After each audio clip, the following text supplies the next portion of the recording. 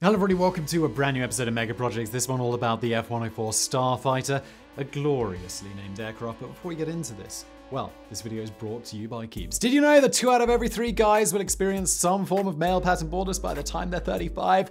Yes, I did, Keeps! Indeed, I lost my hair by the time I was 25, so that was brilliant. I wish Keeps had been around when I was younger because advances in science have meant that there are now treatments that can combat the symptoms of hair loss and help you keep the hair that you have. Look, it's too late for me.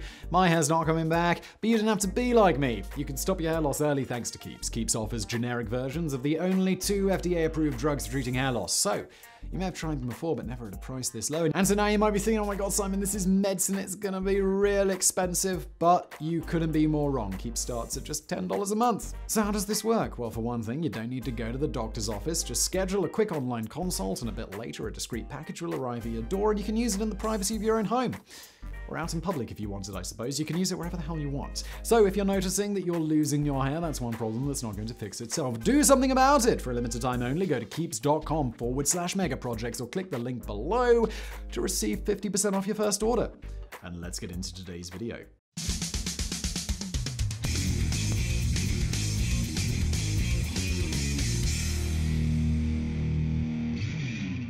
With nicknames like the Missile with a Man in It, the Flying Coffin, Hooligan, and the Widowmaker, holy shit, the F 105 Lockheed Starfighter was an aircraft with a complex aura to it. A complex aura of death, complete with a futuristic appearance and a Mach 2, 2,469 kilometers an hour, 1,534 miles an hour top speed. This single engine supersonic interceptor aircraft was a thunderous piece of military hardware. But below its sleek facade lay numerous problems which became apparent once the United States started exporting the F 104 around the world. The first combat aircraft capable of sustained Mach 2 flight was a plane that traded its searing acceleration and top speed for slack maneuverability and poor range. The F 104 was both a record breaker and an absolute liability. Sometimes an aircraft comes along which redefines aviation, many of which we've covered here on Mega Projects, but the F 104 Starfighter was not one of those aircrafts. It was the equivalent to putting an F1 engine on the back of a small go kart and taking it out for a spin. Insanely fast, yes, but also a vehicle that ramped the likelihood of death up just a notch, or maybe 12. The story of the F 104 is a bumpy ride with plenty of collisions, and while it won't go down in history, it's still a fascinating tale to tell.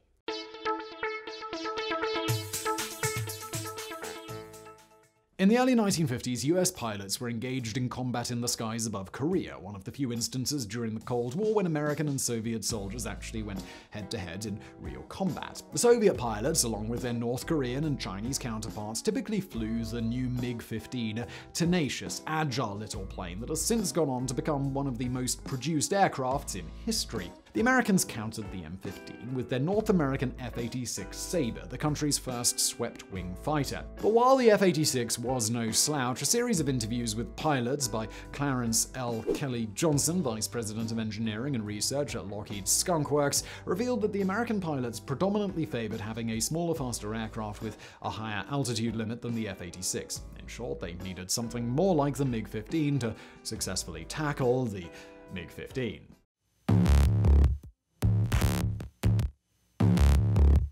Once back in the US, Johnson and his team set about designing this new aircraft. After studying over 100 different aircraft layouts, the team went for a light 5,400 kilogram, 12,000 pound design with a single General Electric J79 turbojet engine. The US Air Force liked what they saw and invited three other companies, Republic Aviation, North American Aviation, and Northrop Corporation, to submit designs for a lightweight fighter.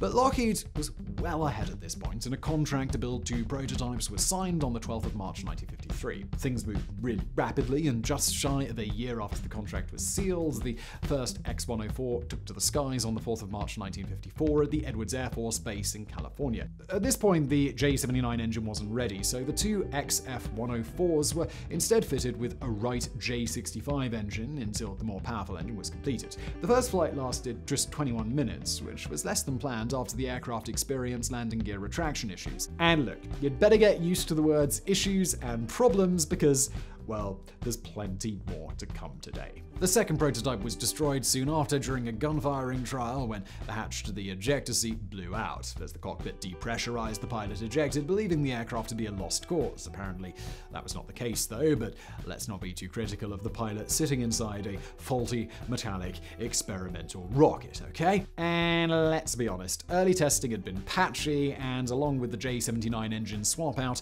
the new XF104s came with modified landing gear, modified air intakes, while also being 1.68 meters, that's 5 feet 6 inches longer than the original, to accommodate the new engine. A further 17 aircraft were ordered for testing and began flying on the 17th of February 1956. Between then and the 28th of January 1958, when the first aircraft was delivered into service, they had their airframe strengthened, a ventral fin to improve directional stability at supersonic speed added, along with a boundary layer control system, or BLCS, to reduce landing speed. And with that, this futuristic speedster was ready for takeoff.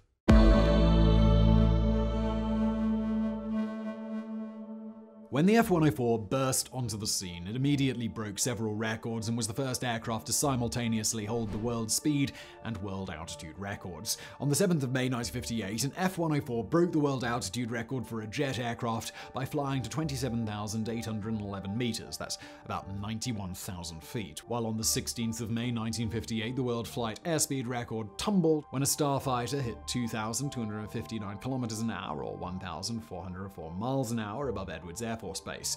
In 1959, the altitude record was again smashed with an F 104 climbing to 31,513 meters, that's 103,000 feet, followed by several unofficial flights over the following years where the aircraft was said to hit a final height of 36,800 meters or 121,000 feet. And by the way, that's 270 Empire State Buildings stacked on top of each other. At that height, you're also well into the atmospheric zone known as the stratosphere. Add to this some quite astonishing time to climb records, culminating in a 30,000 meter, 98,400 feet record of 904.92 seconds in 1959, and you might be forgiven for thinking that the greatest aircraft the world had ever seen had finally arrived, but as we'll come to see in just a moment, speed is definitely not everything.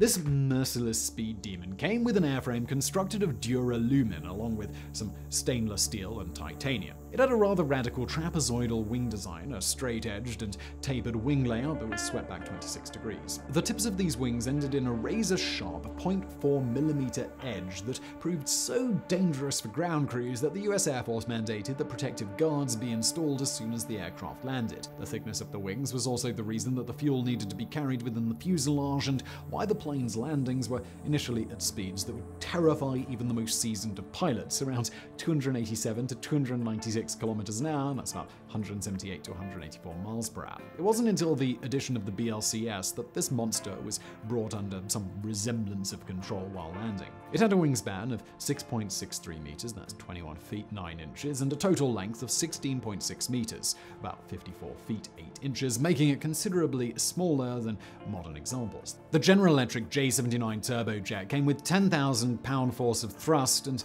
15,600 pound force with afterburner, which is much less than what we have today, but as we've seen, easily enough to shatter speed records left, right, and center. Thanks to the aircraft's excellent thrust to drag ratio, the F 104 was capable of exceeding Mach 2, 2,459 kilometers an hour, that's 1,529 miles per hour, but it had a nasty habit of overheating the engine, so its operational speed was limited to Mach 2. The F-104 was the first aircraft to use the 20mm M61 Vulcan autocannon with a 6,000 rounds per minute firing rate, meaning the F-104 would be out of ammo after just 7 seconds of continuous fire. The aircraft could also carry two AIM-9 Sidewinder air-to-air missiles on the wingtip stations, though it was later modified to include underwing pylons for additional armaments and a centerline pylon capable of carrying a nuclear weapon. Another radical design feature of the F-104 was the ejector seat. Now, I don't know about you, but I've always assumed that an ejecting pilot would fly upwards, but not with the early versions of this revolutionary little aircraft. Its downward firing ejection seat did exactly as it sounds, which, as you might imagine, caused all manner of problems for low level ejections. so, bang, straight into the ground. This format was used because there were limitations of the available ejection seat catapults at the time, and an astonishing 21 USAF pilots failed to escape safely because of this, including Ivan Kincheloe Jr., the first person to perform a suborbital spaceflight when his Bell X-2 rocket plane reached 38,470 meters, that's 126,000 feet, in 1956, before being killed after ejecting from an F-104 in 1958. Not long after, the aircraft was fitted with the Lockheed C-2 upward-firing seat instead, and the concept of downward ejector fell completely out of fashion for good reason.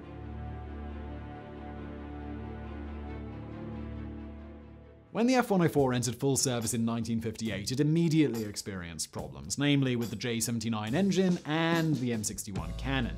These were deemed so significant that the entire fleet was grounded just three months into their fledgling careers. New J-79 GE-3B engines and three additional ADC units were installed. These small air data computers were used to compile data from the aircraft systems to determine the calibrated airspeed, Mach number, altitude, and much more. While these upgrades didn't fix all of the F-104's problems, they certainly made the aircraft easier to fly. But while the F-104 was receiving a much-needed structural facelift, the US Air Force was already having second thoughts. Just to show how quickly the times changed regarding military technology, the trend was already beginning to shift towards aircraft with much longer range that could carry considerably more weapons. The F-104, with its fairly limited arsenal and paltry combat range of 680 kilometers, that's 420 miles, had neither, and before it even had a chance to dance, it was being ditched for younger, better models. The initial USAF order of 722 was slashed to just 170, while after less than a year in service, the F-104s were transferred from the fighter interceptor squadrons to the three squadrons of the Air National Guard. This is the equivalent of playing for the Yankees one day, and the next day the Scranton Wilkes Barre Rail Riders, if you've Never heard of them? Well, that's exactly my point. Despite the F-104 appearing to be on the brink of an early extinction, it was used in several roles sporadically until 1969. In 1958, they were used during the Taiwan Straits crisis when several 104s flew back and forth between Taiwan and mainland China as a way of flexing US muscle and also lending support to the breakaway island. Three years later, they were once again used as a deterrent when they took part in maneuvers during the Berlin crisis of 1961, in which Soviet leaders delivered an ultimatum for all NATO troops and aircraft to leave the German capital. Not one to back down from a fight, JFK ordered more aircraft to the city, with the USAF said to be pleasantly surprised with the performance of the F 104, which outmaneuvered every aircraft in the vicinity. Suddenly, there was a bit of hope for the starfighters. The performance in Berlin led to a call up a few years later during the Vietnam War, where they were used in air superiority and air support roles. Essentially, they were there to protect other aircraft, in particular the F 105 Thunderchief and the EC 121D Warning Star airborne early warning aircraft. The F 104 performed admirably in Southeast Asia, but were rarely involved in aerial combat and left Vietnam without any recorded air to air kills, with a loss of 14 starfighters. This was the last US combat operation that they were involved in, and in 1967, the units began to be replaced with the McDonnell Douglas F 4 Phantom II. Two years later, the last F 104 left the US Air Force, 11 years after their introduction.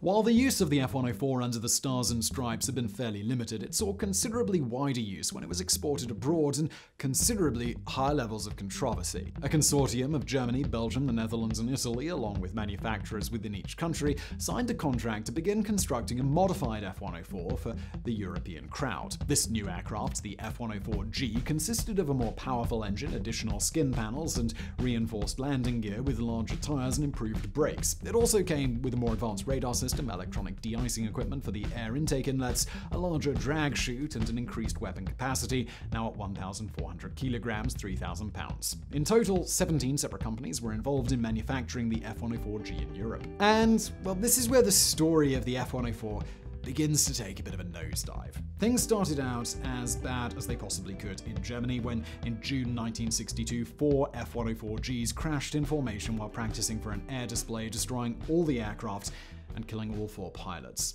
And sadly, that was just the start. Much has been said about just why the accident rates in Europe were so high. Was it because of the bad weather compared to the frequent clear sky climates that many pilots trained in in Arizona? Was it because European pilots had not kept pace with jet fighter developments? Or was it simply because the F 104 could be a maniacal, bucking Bronco? The reason was almost certainly a combination of all three, which led to a staggering 292 crashes and 116 German pilots lost to F 104 accidents. Germany, Belgium, and Canada all experienced between 32 and 46% losses of their F 104s during their decades in service, which is shocking but they were the extremes. Denmark, Japan, and Norway suffered losses of between 14 and 24%, while the Spanish Air Force came out with a perfect record of zero losses. It's not immediately clear why there were such disparities between loss rates, but what was clear was that the Starfighter had the ignoble honor of having some of the highest loss rates of any aircraft in history. And here's the final kicker.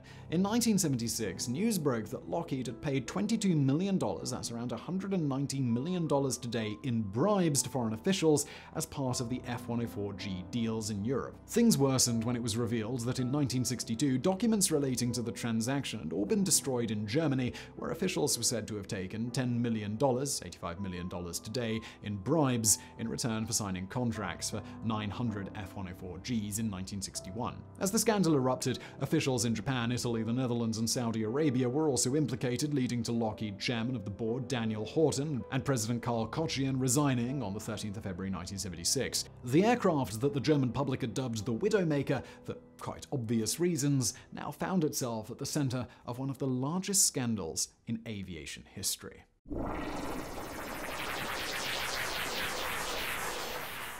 So what can you say about the F-104? If you just started watching this video in the last couple of minutes, you might well assume that this was the worst aircraft of all time, but that would certainly be going too far. The F-104 was incredible with certain aspects of flying, namely acceleration, top speed, and altitude limit, but far from exemplary when it came to its large turn radius, short range, small armament capacity, erratic pitch behavior, and the requirements for it to remain at full speed while landing. This was a combination of positives and negatives that didn't particularly fit well together, and when you take take into consideration the huge demand it often placed on inexperienced pilots, it's not hard to see why this ferocious little plane caused so much carnage. The F 104 seemed to have different problems throughout its life, from oscillations causing uncontrolled dives, T tail fluttering, which occasionally tore off the tail, and problems with the brand new engine in the early days, to issues with the variable thrust nozzle that could cause a sudden loss of thrust, afterburner blowout, and problems integrating into different air forces later on. This was an aircraft that was just plagued from the very start.